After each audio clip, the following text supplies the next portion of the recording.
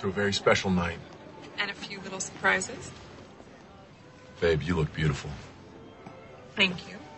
I, uh, I wanted something a little different, so I borrowed a dress from Sarah. She wore it on a mission in Bulgaria once. How wild is that?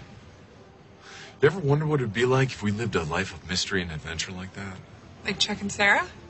Like spies.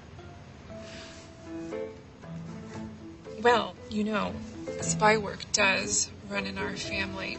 There's no reason why you and I can't pretend to be spies. For tonight.